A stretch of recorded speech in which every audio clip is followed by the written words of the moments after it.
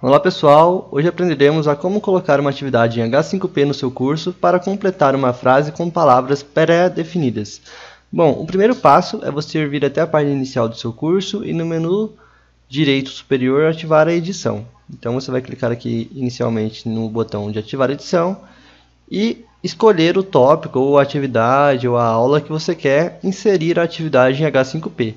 Então eu vou inserir como exemplo nesta é, aula de tópico 5, eu venho aqui em adicionar uma atividade ou recurso. Ele vai abrir para mim essa tela. Eu vou selecionar aqui o conteúdo interativo, tem aqui a, o íconezinho do H5P. Então, clicando aqui, ele vai carregar uma tela para mim. E assim que essa página abrir, eu vou ter essa interface para edição. Então aqui eu posso descrever a minha atividade, colocar alguma descrição, caso seja de meu interesse.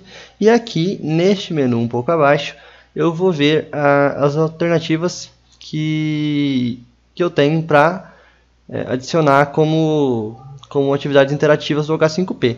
Então, eu vou procurar aqui em cima, nesse, nesse campo de busca, ou rolando aqui para baixo, esta atividade aqui, que é fill in the blanks, que é para completar, completar as palavras é, faltantes, as palavras que, que faltam numa, numa frase. Então eu vou clicar aqui em cima dessa, dessa ferramenta, ele vai carregar aqui para mim a, a edição dessa atividade, e aqui, assim que ele carregar, eu já vou poder editar a minha atividade. Então eu vou colocar aqui é, um, título teste, então vou colocar aqui como exercício 1, a descrição da tarefa já vem automática com preenche as palavras que faltam, então você não precisa mexer.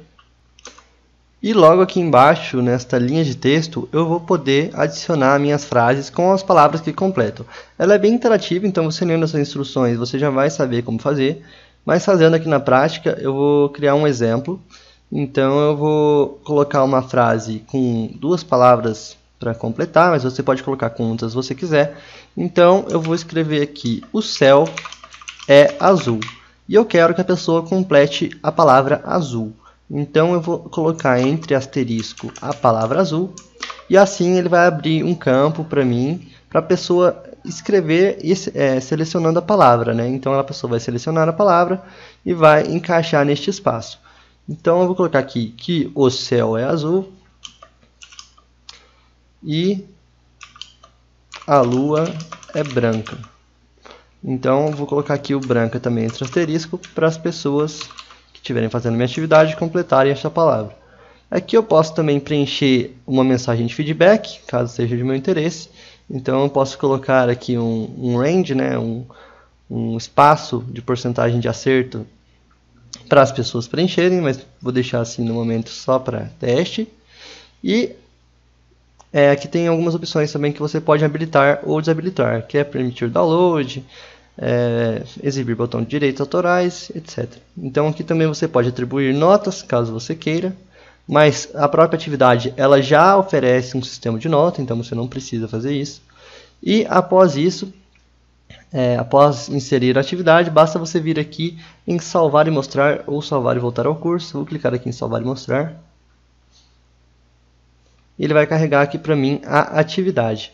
Então, eu tenho aqui é, o espaço para a pessoa preencher é, a atividade. Essa aqui já é a atividade que o aluno seu vai ver. Então, eu posso colocar aqui, o céu é, eu vou colocar aqui azul, como certo, e vou colocar uma resposta errada aqui para validar 50%. Né? Então, eu vou colocar, quando o seu aluno clicar em verificar resposta, ele vai aparecer aqui a pontuação e o que está certo vai ficar em verde, o que tiver errado vai ficar em vermelho. Caso o aluno queira ver a solução ou tentar novamente, basta ele clicar em um desses botões de acordo com a sua necessidade. E assim a sua questão ela já vai estar no seu, no, no, na sua aula, já vai estar inclusa no seu curso. Apenas mostrando aqui para vocês como ela fica, está aqui é, o meu exercício em H5P para completar as palavras que faltam. É isso, um abraço e até a próxima videoaula.